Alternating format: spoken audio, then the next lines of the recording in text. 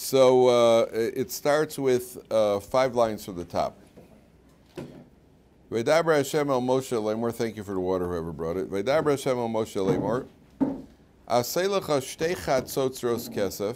Make two trumpets out of silver. Miksha ta'ase osam.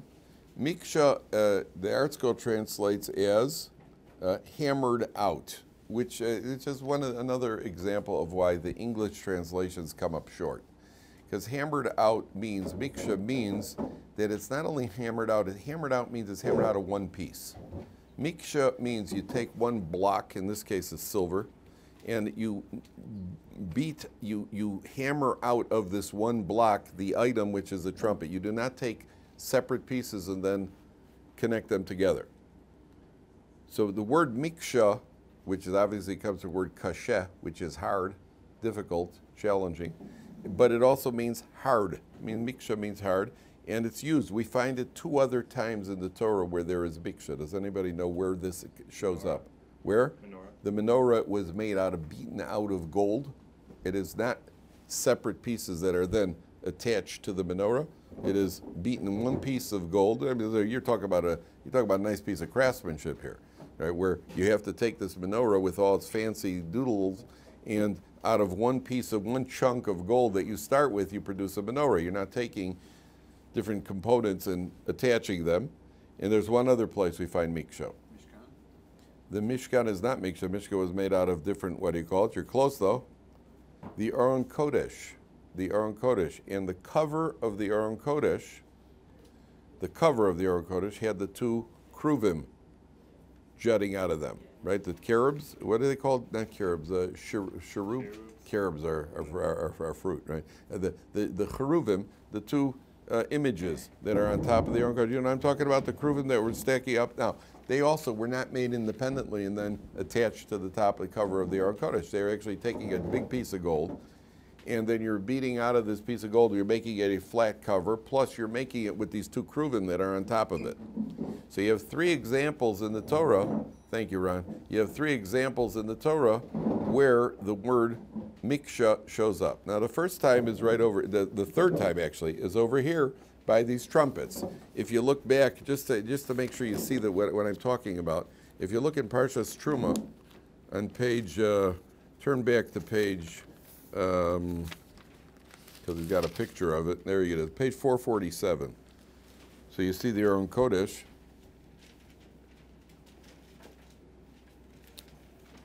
You see that the, the Kruvim are on top of the Aron Kodesh over there. Uh, they, they've had better pictures in the ArtScroll. But the, these are uh, these are the old ArtScrolls. Okay, so it's on 447. You see that they those two kruvim, the uh, the, the, the cherubim, are actually attached. Uh, uh I guess the word would be uh, I don't even know what the word is, but they're not made independently. Right? They're put on the they're put on the Aron Kodesh. Okay, so keep that in mind that we find it in two other places. Here, the Torah says that Moshe Rabbeinu has these trumpets and he makes these trumpets, and based on the pattern of how he blows the trumpets, that will determine who's supposed to gather to him. One type of signal means the people are going to travel. There's another type of signal where he calls all the people. There's another type of signal where he calls only the elders. Different sounds that are made with the trumpets. Rashi right here says, Aseit licha shtei kesef. And if you look at Rashi in the right column, in the right column, First Rashi says, Aselecha, says Rashi, Sheyihu token lefanecha kemelch. They should blow these sounds in front of you like a king. like the king could. Vahibi shur melech. And then in the next line, the second Rashi says, Say mishelcha, mishelcha, it's made from your own material. And then Rashi says, Aselecha, Ata osa umishtamish behem. You make them, and you make use of them. Velo acher. That means you, Moshe Rabbeinu, are going to use these trumpets. And after Moshe Rabbeinu dies, these trumpets have to go into the Geniza. Trumpets, nobody else is allowed. The next leader does not use these trumpets. And only Moshe Rabbeinu uses these trumpets. So one of the ideas here is, one of the ideas here is, why would these trumpets not allowed to be used by anybody else? So, you know, we're going to get to the end of the parsha where there's this episode of the Lashon Hara, where Miriam speaks Lashon Hara about Moshe Rabbeinu. And her Lashon Hara is a very, very uh, uh, very, very subtle. It's only that she said, well, why is he any different than we are? He's a prophet, we're prophets.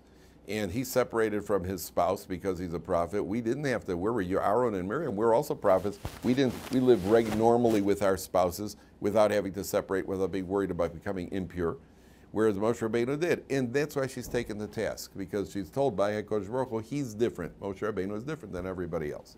You're right, you're a prophet and he's a prophet.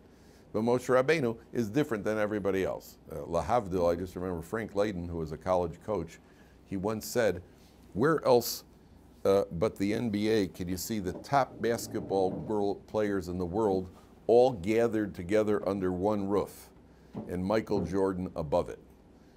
I mean, you know, they're all they're all good, but you know, there, there's a you know the argument starts only after when Michael was playing. Goes who's the best player? Starts after Michael. That was that was a given, right? LeBron notwithstanding, and that was a given. And by the way, in Chicago, we, uh, you know, we, we we we were never liked LeBron because you know there he was with a number 23, and how dare you? right, type of thing. But he has achieved something that Michael Jordan did not achieve. Six times Mike LeBron achieved something that Michael Jordan never achieved. Six times he lost in the finals. Da, da, da, da. that felt good. So the, the, the, the, what do you call it? Moshe Rabbeinu is told, HaKadosh Baruch Hu says, he's different. You're all good, but he's different. Moshe Rabbeinu, first of all, the trumpets is to indicate Moshe Rabbeinu uses them, nobody else uses them. He's different. He's in a different category. He uses them, nobody else uses them. That's idea number one. Idea number two, as I heard from the Rosh Yeshiva of Mendel Weinbach Zatzal, he said, the trumpets is a way of communicating with the people. In every generation, every leader has a different way and a different method of communicating. The message to the generation is a different message, and the communication is a different form of communication. The classic example is in the tshuva, what they call the tshuva movement, uh, when people were searching in the 70s and 80s, so the message to the people had to do with a certain amount of certain amount of uh, uh, uh, uh meaning and a certain amount a certain, a certain amount of meaning and a certain amount of intelligence. Is there an extra chumash over here? Maybe there's a chumash you can bring for David. Yona, are there any more chumash? I have. You have, you have a chumash, okay.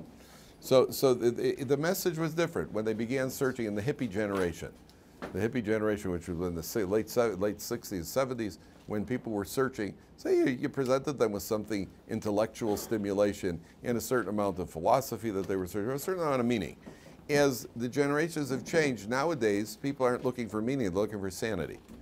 You're in a world that's insane, and now people are just looking for sanity and decency. At a certain point, it was, you know, to, to teach me some truth. Nowadays, people are, the, the world is so, the world is so indecent that if you show somebody, hey, you know, there's a system of decency, it's a completely different message. It's a completely different means of communication.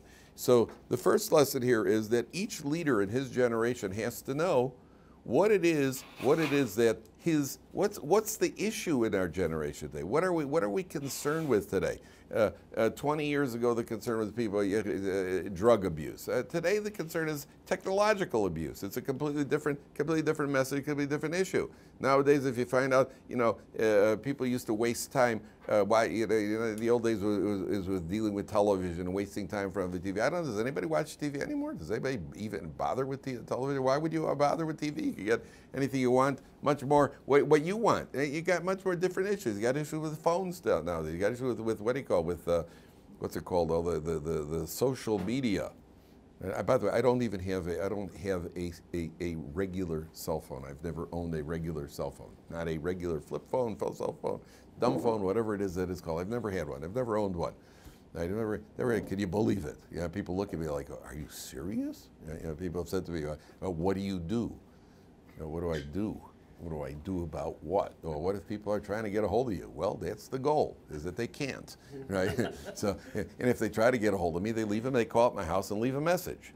And if it's a good message, meaning they're good, when they want to give me money, I call back. If it's a bad message, they want my money, I don't call back. so if people were looking for me all day long saying, Kaplan, we want to give you money, then I would consider getting a phone right? But that's generally not why people are not doing it. And, and you know, for five minutes, I, I, I, could think. I've seen people. I, I see what goes on. It, it, the message of it's a different message of the generation. In our generation, the message is, hey, take five minutes for yourself. That's the message of our generation. You are entitled to five minutes for yourself, to think, to not be on call and not be on duty. That, that's, that's the rule. That's the rule. The last time my wife was expecting, which was about 17 years ago, so then when she went into her ninth month, she said to me, okay, this time I want you to get a phone. Get a, a cell phone. I said, why? She said, well, in case I go into labor and you're not around. So I said to her, look, if I get a phone, one of two things is going to happen. It's either going to ring in shul and disturb the entire minyan, or I'm going to lose it. Those are the two choices. So I have a better idea. Don't go into labor when I'm not around. Mm. Right? right? And she cooperated. She went into labor on Rosh Hashanah when I was around. they, always, they always get the last word. So, so you, you, you know, that, that's the message of the generation. Do you really have to be dominated by your technology? I mean, how many people are not? Everybody today is dominated by technology. That's the message. In the old days, the message was drugs. The generation before, they had a little bit of philosophy. It changes. Each leader has to know what it is that his, his, his, his, generation, and therefore nobody else uses Moshe Rabbeinu's trumpet. Symbolically, he calls out his way, and somebody else calls out. There are other times where, you know, when I was raised, I always tell people, I always tell people, you know, nowadays when you're raising children, you need a lot of psychology a lot of psychology books written on how to psychology with children, right? Psychology, how you deal with children. I always tell people, in my generation, my father, olav hashalom, I was reminiscing with a friend of mine, our fathers were not psychologists. Our fathers were physical therapists right? That, that's how we. That's how it was raised in our generation. A couple of good. It tagged you a couple of good times. You know, once it, it, it, it straightened things out. It wasn't. There was no kitzeling around. And if it wasn't, by the way, I, I mean, I got spanked maybe two or three times my entire life. I deserved it, and I deserved it more, right? But the times that I got it, I got it for good reason, and I got it good and for good reason. But my parents, there was no kitzeling around. With the psychology, the psychology. You needed to be put in your place. They put you in your place. And because you knew, you respected your parents, you knew that your parents were putting you in your place because you deserved it. And I knew when my father put me in my place, I knew I deserved it. I knew I deserved it. I was a kid. Now It's a psychology, and you got to talk like this and talk like that. Why? Because there are concerns in our generation. There are concerns, whether it's physical abuse or verbal abuse, or this abuse, that abuse. So that's the message. It's got to be a different message. Each generation, a different message. Number one. Number two. Let's go to those three items. You have over here the item symbolizing leadership, and it's got to be miksha. And I told you the word miksha, the root of the word is kasha, which is hard. That means two things. A leader, number one, sometimes he's got to be tough. Sometimes it's not pleasant to be a leader. Sometimes as a leader, you got to put people in your place. You got to call people out. If you're going to be the rabbi of a shul, sometimes you got to take a tough stand with people. Sometimes you can't compromise. On the one hand, on the other hand, the thing itself is difficult. It's challenging. It's a tremendous responsibility. To be a leader is a tremendous responsibility. You want to be a you want to be a pulpit rabbi? Boy, you're it's a tough job. It's a tough job to be the leader of the generation, to be the guide for the to be the Moshe Rabbeinu, where you've got to take everybody's you got to hear everybody's kvetching and complaining, and you got to deal nicely with people to be a communal rabbi where everybody's got something to say to you and you got to treat people with honor and respect and a tremendous amount of patience, and they you ever got a minute to yourself, it's a tremendously difficult job. That's miksha. It's got to be a reminder to any leader when you take on a position of leadership, it's a, it, it, it's a challenge. Number one. The second item that we find it by is the menorah. What did the menorah symbolize? What did we say yesterday? The light of the menorah symbolizes Torah. Person who wants to devote himself to studying Torah, everybody's heard of Rav Chaim Kanievsky, and that he was the, the leader of the generation. You know, as a both the leader and Torah. You know, kind of, you know, kind of. He didn't have a minute to himself. You know, kind of lines there were people coming in and asking him questions and coming for brachas. He didn't have a minute to himself. It's a it's a tremendous responsibility. But he, where how did he get there? He got there through Torah. You know, kind of devotion to studying Torah it was. I once saw. Imagine the following. I will give you one hour. I have a machine. I once saw this on a game show. That's where I got the idea. I got the idea from a game show. There's a little box. Now, this machine, you get to pull out dollar bills out of this machine. Pull out dollar bills. I'll give you one hour to pull out as many dollar bills out of this machine, and you get to keep them. You get one hour with this machine, with this box. Okay? Now, starting from now, right? What do you think your hands would look like pulling dollars out of it? That's right. Right? Pulled out of that, right? What if your cell phone rang? What if your phone rang in the middle? Right? No. No, uh, I bet it could be important. You answer it all other times. You answer it in shul. I see people in shul with their phone. Mm, mm, mm, mm. Uh, uh, I thought it's important or it's not important, right? So you, are pulling out. Okay, now what if I told you that it starts at six o'clock tomorrow morning? You get your one hour starting at six o'clock tomorrow morning. What time do you think you can be up tomorrow morning? Huh? About four, right? I don't think so. I don't think you'd go to sleep. I don't think you'd take the chance. You'll stay up all night and then you're going to be pulling, pull, pull, pull, pull, okay? Now, what if it's 24 hours, not one hour? You got 24 hours to pull out a dollar bill. Okay, you're pulling, you're pulling, pull, pull, pull, pull, pull, pull. Amazing how, how, how fast my hands could move for how long. And if my hand gets tired, then it would look like this, right? Just rest that one, and then the, then then rest that one, and then, then go back to the routine, right? And you'd be pulling for 24 hours. Okay, what happens at lunchtime? What would lunch look like? Okay, lunch break you know, we're off. Let's go. Where are we going today? First, we have a 15 minute debate. Where are we going to? no.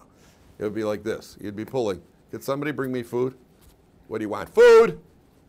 We catch up. Food! Just get me the food, right? And then they bring you the food, and then put, just put, what bracha? What is it? I don't know. Just make a glory priya food. just put it in my mouth. I don't care. I really don't care right now. Just feed me. Just give me strength. That's what it would look like. If you view every word of Torah is a mitzvah, and you view your lifetime as the limited hour, so then the urgency that you have learning Torah is the exact same urgency. So a person who learns Torah and actually gets to that level, that's the urgency that he has. That's how he becomes a Rebbe Chaim Kanievsky. So somebody asked him once, because he, he, he was learning for one hour, at one point he was sleeping for about an hour, an hour and a half at night. So his grandson said, how do you, how do you have the energy to do this? He says, listen, I'm, people are taking up a lot of time. I haven't finished my daily quota. I have to finish my day. I have no choice. I have no choice. I have no choice. When you have a child who's crying, and you have a baby crying in the middle of the night, and the baby, you need to be up, you're going to be on sleep deprivation. Yeah, but I need to sleep. Yeah, but the baby needs you to hold him. Baby's got colic. Baby's colicky. You got, well, baby gets colicky. Newborn baby gets colicky a little bit. That means the stomach muscles, the stomach digestion is not is not fully developed yet. The baby has cramps. Could be crying 22 out of 24 hours. And when the baby's not crying, you're crying. Right? That's the way it is. I have no choice. I have to do it. Yeah, yeah, Jake. That's what you got to look forward to. Yeah, yeah. And then, and what do you call? It? The baby's crying. Okay, the baby's crying. You got no choice. If Torah is that urgent, that's miksha. The the menorah, the flame of the menorah, represents the devotion that's needed for Torah. It's miksha. It's difficult. It's challenging. Torah is not easy. Torah is not easy. Torah, Torah is challenging, and therefore that's the second item. What's the third item that's miksha? Is those kruvim that are made on the Aron Kodesh. What do the kruvim represent? The kruvim has the face, Rashi says they have the face of the innocent child. Turn back for a second to Parshas Truma. We're going to take, take a look at two different places. Keep the finger on the place here. Turn back again to 447. I want to show you something.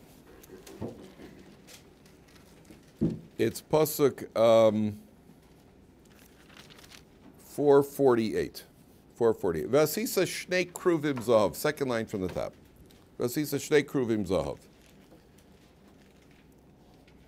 Take a look at Rashi. It's the right column, fourth line from the top. If you find it, please show the person next to you. Rashi says the word kruvim. Everybody see that? Fourth line from the top. Kruvim, says Rashi, what do they look?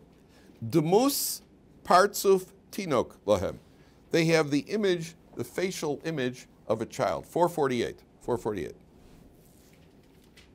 Okay, 448, right column of Rashi. And Rashi says the word kruvim.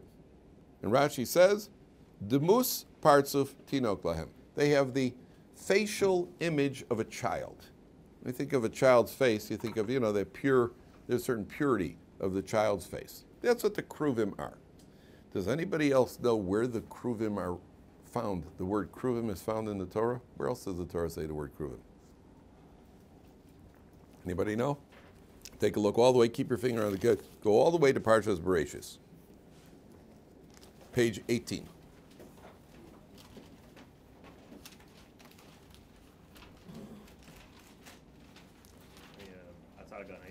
Correct. Page 18, six lines from the bottom. Six lines from the bottom. This is when Adam Harishon, Adam is punished because God finally tells him what's going to happen. And then six lines from the bottom, it says, Vayishalcheu Hashem Elokim Gan Eden. God expels him from Gan Eden. Lavod es ha'adama asher lukach misham to work the earth.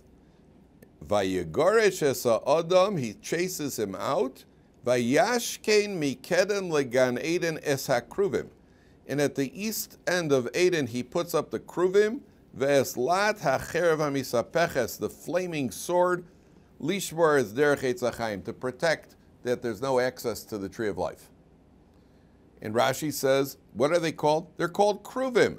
What are these kruvim that God puts up in Gan Eden? You take a look at Rashi is where? Um, where's the Rashi here? Correct. Left side of left column of Rashi, middle line. Says Rashi. If everybody finds it, please show the person next to you. says Es kruvim. What is it? Where are these kruvim? Malache chavola, destructive angels. Destructive angels. That's what these kruvim are. Well, make up your mind. Over here by the Aron Kodesh, Rashi said the kruvim have the demus partsuf tinuk. They got the pure face of a child. So make up your mind. Are these kruvim are these kruvim destructive angels, or these kruvim have the pure face of a child? And the answer is, well, it depends where the kruvim are. When you put up the kruvim out in the garden, out in the field, like Gan Eden, with no boundaries and no restrictions, so what are these children going to end up like? They're going to end up destructive angels.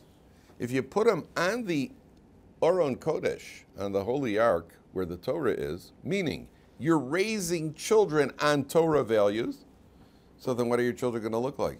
They're going to have the face, they're going to have that pure face of children. In other words, if it depends, when it comes to chinuch, when it comes to raising children, raising children is miksha. It's difficult, biggest challenge of your life. No, the second biggest challenge. Second biggest challenge. A guy once came to Roy Feldman. He said he was having trouble in his marriage. He said it's the most difficult relationship. He said no, he, he was having trouble with a child. So he's having trouble with one of his kids. Could you believe it?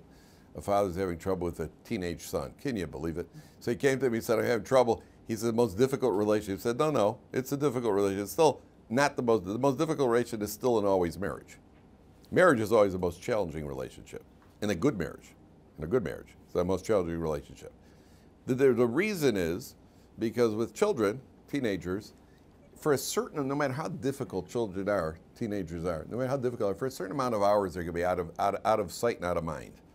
He'll either be in school, he'll be at work, or he'll be in jail. One way or another. But for a few hours a day, he'll be you know, meeting with his parole officer. Well, for a few hours a day, he's out of your head. Your spouse can never be out of your head. Spouse can never be out of your head. Because even if you don't, obviously, when you go to work, you have to do your job properly, and when you're learning a Torah, you have to learn Torah properly. But you can't make any independent decisions with a spouse. A husband could come home. I'll just give you one example. This is a classic example. When it happens to you, when it not if it happens to you, when it happens to you, just remember this smiling mug, right? And you can make the checks out to Kaplan with a K, right? And just write, "Yes, you told me so." Right? So a guy, the husband's on the way home. The husband comes home. The wife serves a, a, a meal, and the husband eats. And the wife says, "You didn't like the chicken?" Says, no, no, it's really oh. good. How come you only had one piece?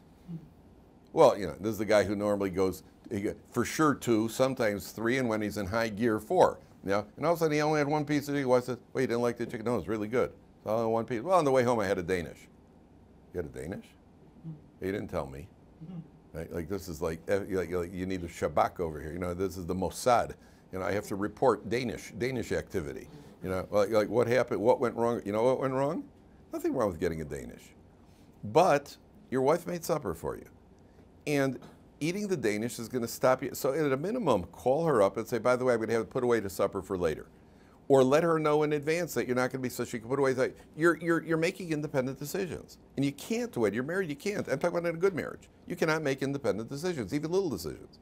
And it's she and the way a wife feels uh, often is like what, what you're sneaking. They always suspect us, by the way. Women always are suspicious that we're doing something sneaky, devious, and underhanded, which is true. I can't I can't say that it's not true, but they are they are always always very, very suspicious of us, which is why we which is for good reason. But here, it was inconsiderate of you. She goes, she works, she makes a meal for you, takes her time to make a meal, and you just go without any forethought. You eat it, which means that, that some of her work is for nothing. So what'd you do it for? You understand how? And all it was was a Danish. My goodness, it was just a Danish. That's all it was. You can't make independent decisions. You can't make your your. So that's a tricky relationship. With your children, it's a completely different relationship because when he's out of your head, it's like you're not thinking about him until you see him in the house, until you see him sitting around doing absolutely nothing or doing something which is illegal, whatever it is. But until while he's out of he's out of your mind. I don't have to. I could eat a Danish. My my teenage son doesn't care if I eat a Danish. Couldn't care less. He doesn't know if I eat, when I eat. He doesn't care as long as he eats. Right? So he he's not thinking about it. Your wife is a different relationship. When it comes to your child, it comes to your child. How are you going to raise that kid? You know, in Israeli schools, secular state schools, they did a they did a study at a secular state school. 33% of the kids in the secular Israeli state schools, the non-religious schools, 33% of the kids carry plastic box cutters as a weapon and 50% of those kids said they carry them in self-defense. So much so that they've, they've, they've, they've thought about, they haven't done it yet, thought about having like, you know, like in American schools when you got to walk through a, a metal detector to go into the school. In the frum schools, so they have trouble also. Some of the kids bench too fast. Right, that's, that, that's considered, that's considered, ooh, you know, slow down over there. Right, there are no plastic box cutters in frum schools. Right? Those are the faces of the angelic children. I don't say they're, I, listen, they, are not, they're not tzaddikim just yet. You know, I could tell you stories, but you're raising them on Torah values, and it's miksha. Chinuch, raising your children is one of the biggest challenges you will ever have in your life because it's there it, it's challenging and that's why the torah by the kruvim the torah uses the word miksha to remind you these three things when it comes to leadership it comes to torah study and it comes to chinuch they are all miksha they all are challenges in life. If you succeed, and you will, Bezer Hashem, that's the most satisfying areas of success. But just realize none of it, none of it is a cakewalk. It's all very, very challenging. Somebody had a question. Somebody, somebody, yeah, good one. Why do the other 50 the other 50% are the ones who attack them. Yeah. 50% are self-defensive and are for the attack, or they attack the teachers. There's a severe shortage of teachers in the Israeli school systems today because the teachers are, are, are, are, frustrated. They have no control over the kids. They cannot, what do you call it? They cannot, they cannot, uh, uh, uh you can't do any disciplining in the schools. Uh, their teachers have been assaulted in the schools by the parents who are upset with this, that, and the other. And there's a shortage. They, they, they have a crisis in the country right now, among other crises. They Have, a crisis with the teachers. If you don't raise a child on Torah values, that's what's going to happen. And again, even if you raise them on Torah values, they still need to have a tremendous amount of tefillah that goes, you got to daven for success, you have to have siyata dishmaya. And it's a challenge. It's a challenge. Raising children is a challenge and the children see all your flaws as a parent. The children, you can't fake the kids out. The kids see exactly what you are. The kids, it's a challenge. And the best, the most successful way to raise, raise children is working people. I say, well, give me a good book on raising children. Okay, the best book is the Mesilas Yesharim, right? Work on yourself. That's the best way to raise children. Right? The more you work on children are imitators. The more you, you, you work on your own character, the children, children see right through you. Children see right through the parents. Okay, take a look at uh, uh, um, Perik Yud Aleph Pasuk Ches. So here we get to, back, back to the ranch, 1128, 11.8, sorry, 11.8, page uh, 788. No, that's not right. That's not right. Oh, here it is. Yeah, yeah, it is right. Okay. So here we're talking about the uh, uh, um, the the manna that's coming down the man, which is one of the more intriguing uh, ideas that the Jewish people went through the desert for 40 years and they ate manna from heaven. So it says, V'haman kizra, it's right in the middle of 780. V'haman kizra gadhu, ve'eno ke'en ha'bedolach. How does the, the ArtScroll translates it, uh, this would be good. The man, the people, uh, what, what's it called? Now the manna was like coriander, coriander seed, and its color was like the color of bedolach. Notice that it's only transliterated because we don't know what color that was.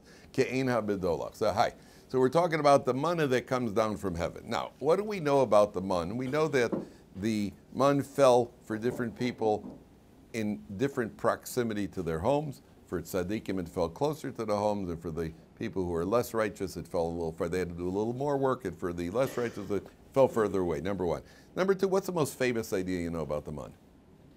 Could taste like anything, right? Even biltong. right? There you go. Kaman could taste like biltong, and you could uh, you could make it taste like anything that you want it to taste like. You think, okay, that's what the midrashim say, and it's not like the Jewish ones like man. I, and we're picturing just a bunch of people saying, okay.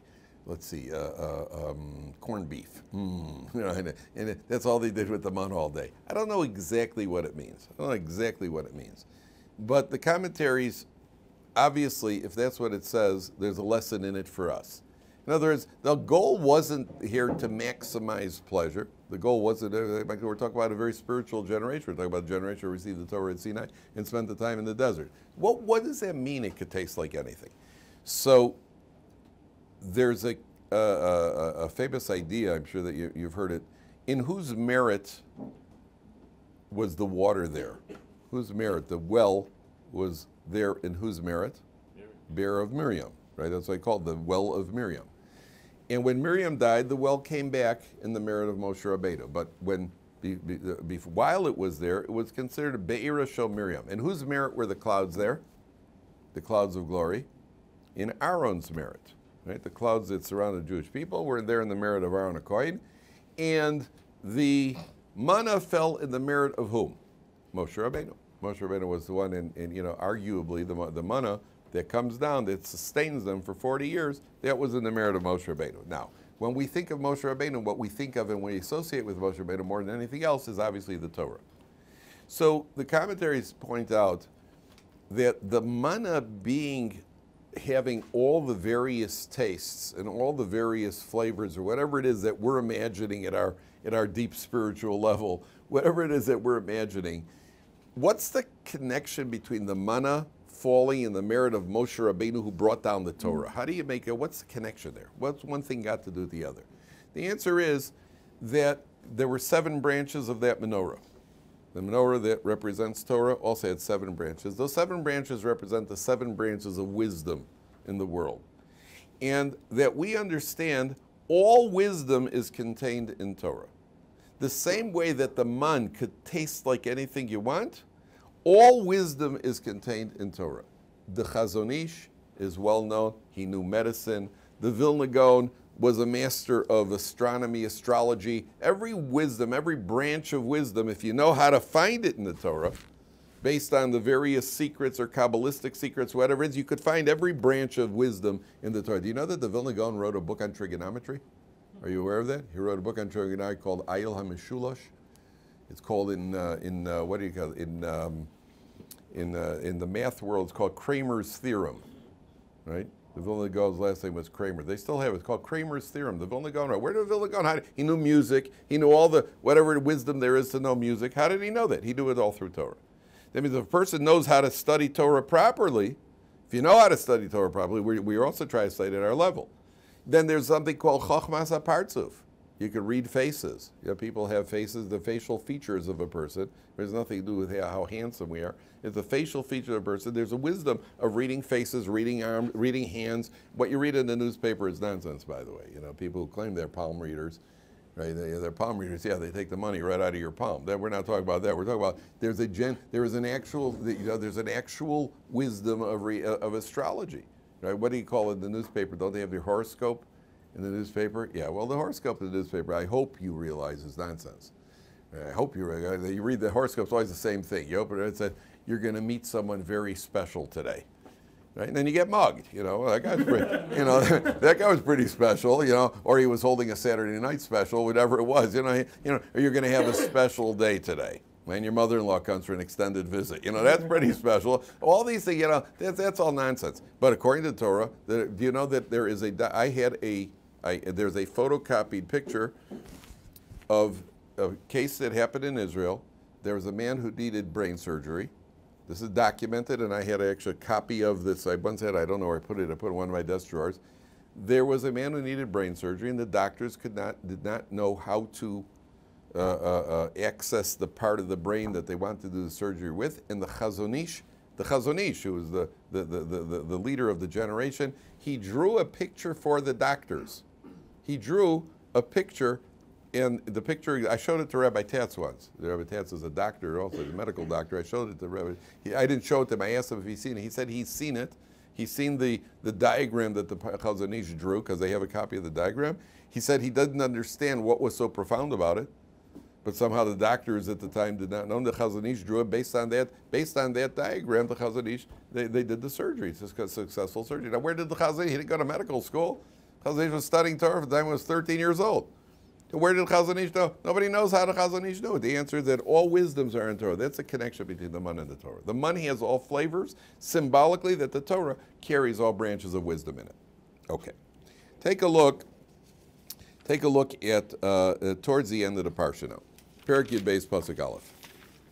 So here you have the episode of Miriam, page 794. And it starts right, it starts on the eighth line. Vatedaber Miriam ve'Aaron b'Moshe. Miriam and Aaron spoke about Moshe. 794, eighth line. Al odos ha'isha hakushis asher lokach. Regarding the isha hakushis. Ki isha kushis lokach. For he had married a kushis woman. Now, Rashi says kushis means that she was very, very beautiful. And then when Moshe Rabbeinu came down from Har Sinai, he separated from her. Moshe Rabbeinu separated from his wife because he felt that since at any time he can be communicated with by God, he's got to be in a state of purity. And if a man cohabits with his wife, so at that point he's tamei. So Moshe Rabbeinu felt that he has to separate from his wife, and HaKadosh Baruch Hu ratified his decision. That's what the that's what the Gemara says, and that's what Miriam said to Aaron. Vayomru, harakach b'Moshe diber Hashem. Did God only speak to Moshe? Halo gambanu diber vayishma Hashem. Well, God has spoken to us as well and Hashem has heard what they said. In other words, we're also prophets. Miriam was a prophet, Aaron was a prophet, yet we live regularly with our spouses. We did not separate from our spouses. And so why is Moshe Rabbeinu, why did he have to separate from his spouse? And then the Torah says, Ish Moshe anav me'od. Moshe was very humble. Mikol ha'adam asher al than any man on the face of the earth. Does anybody see the irony of this statement?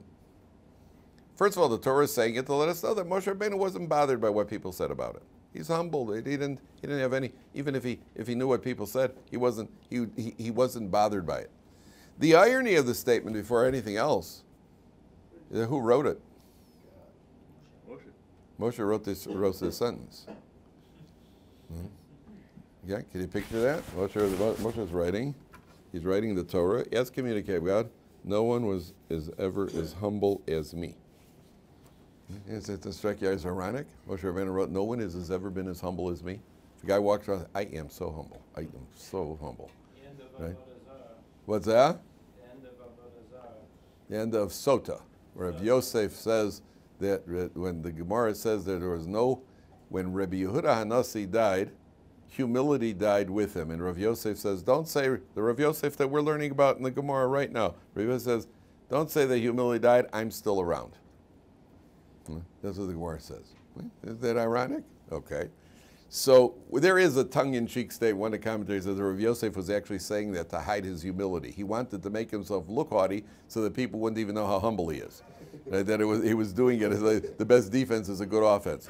But there, there, there's a much, much, much more important here. The, the, the Torah, first of all, before anything else, the Torah's communicating what is humility. What is humility? Humility is not denial. That's a mistake that people make.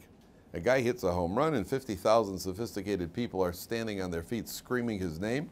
And the guy, now how's he going to remain humble at that moment? What's he going to? Supposed to look up and say, no, I didn't do it. That's, not, that's stupidity. That's not humility. If you painted that painting over, I'd say, wow, that's a gorgeous painting. You got tremendous artistic talent. What do you say? No, no, no, no. Saying no is not humility. Right? You did it. You obviously have more talent than I do. If I if I would paint it so it would look like what they call uh, uh, what's it called now? Modern art. You know, just basically somebody splattered some paint on the canvas. Modern art. Oh, beautiful. Oh, sorry. Uh, oh, here we go. Right? That's modern art. Right? So, so uh, wait. A minute. Uh, humility is not denial. Humility means I recognize my abilities, and you have a responsibility to recognize your abilities. There isn't a person in this room who's got got abilities, capabilities, and various talents, and you have to know what your talents are. You have to know what you're capable of, but you also have to realize that whatever you have is only a gift it's only something that was given to you. And so if you've been given it, A, you have an obligation to use it within certain uh, parameters, assuming, you know, it needs a certain amount of guidance. But you also have to know exactly who you are. You have to know who you are. If guy's got, just reported a girl, there's a girl now who's 10 years old, a Mexican girl is 10 years old. She's registering the highest IQ in history. Einstein and Stephen Hawking were 160. This girl is registering 162. And she, she, she graduated school, uh, grammar school at five years old, high school at eight years old. Now she's 10 years old and she's studying something like, like quantum somethings or others right? I know that I saw the word engineering in the in, the, in sorry, the word engineering is in the in the report and the word quantum in the report. Neither of which I know what they are, right? So so she's got an IQ. She's outscored me by about 100 points, right? She's at 100. She's at 162. But she doesn't know what she is. She doesn't know what she. She doesn't know where she. She, she doesn't know that she's she's taking college courses, high level college courses. She doesn't know. Of course, you know. You have to know what you are. You have to know your abilities. That's not humility. Humility is the recognition that the fact that I've given a certain talent or certain ability or certain capability, but it's got nothing to do with me. If that's what HaKadosh Baruch Hu gave you, so gave, he gave you artistic talent. So he gave you the talent. Now use the talent, but don't do, don't let it go to your head. That's all. Don't let it go to your head. And I'm no better than anybody else. The fact that I, my IQ is 162 doesn't make me better than anybody else. Oh, well, I can look down at you because your IQ is only 120 and mine is 162. Therefore, I'm better than you. I'm not better than you. I happen it could have been the other way around. It could have been the other way around. You could have had the 162. I could have. So you know, I haven't done anything. Moshe Rabbeinu doesn't feel he's done anything. So what? HaKadosh Baruch gave me this role. I haven't done anything. He's genuinely humble because he understands that it's something has nothing to do with me. I was giving. But you think Moshe Rabbeinu, you think Moshe Rabbeinu didn't know that his face was glowing? Moshe Rabbeinu didn't know his face. He didn't know he was on the mountain 40 days and 40 nights without eating. He didn't know that he was the leader of the Jewish people. Okay, know all of that. So what? So that was God chose me for this role. So that's my role. So what's, so what's the big deal? Doesn't make me any better than anybody else because he could have created me the same way. So, so when Moshe Rabbeinu, listen, I'm from Chicago. It's never gone to my head. You know, this, yeah. what can I tell you? You know, that everybody else wishes they were, but I was. You know, what can I do? I was chosen. Okay, I was from Chicago. I know, I know. Everybody's jealous. Everybody in the world is jealous. They would rather be Americans, and everybody in America wants to be a Chicago. And what can I do? Those are the facts. That's what, that's what all surveys have shown. All they've done studies in Chicago, and that's what the studies have indicated. So Miriam speaks about Moshe Rabbeinu. She gets upset. Moshe Rabbeinu is separated from his wife. And that at her level is considered Hara. And what's intriguing is why does Miriam step in over here? Why does Miriam get involved? A fascinating answer. Why does Miriam get involved here? And why does Aaron get involved? And we say Miriam gets punished and Aaron doesn't. When is the last time a man separated from his wife that we find somewhere in the Torah? When's the last time a man separated from his wife? There's a man named Amram. Oh, right. And when the Egyptians made the decree to throw the children into the river, so Amram separated from his wife.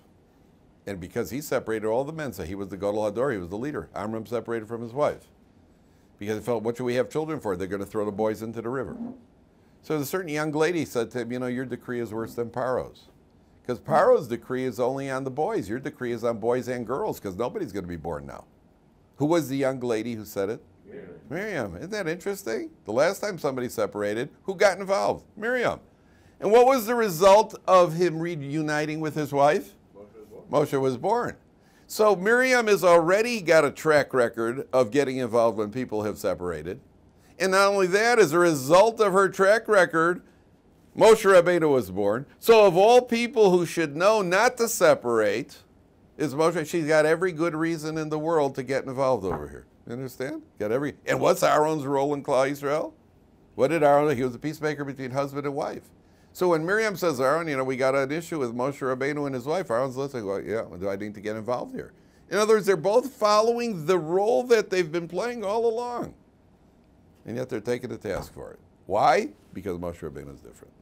Moshe Rabbeinu, you should have known. If Moshe Rabbeinu is doing something, don't get involved. That means you could have all the justifications in the world. You could have all the all the rationalization in the world, but you're still going to be taken to task because you should have known you're overstepping your bounds. And since you overstep your bounds, at that point, Miriam is going to end up with being punished for the lashon hara.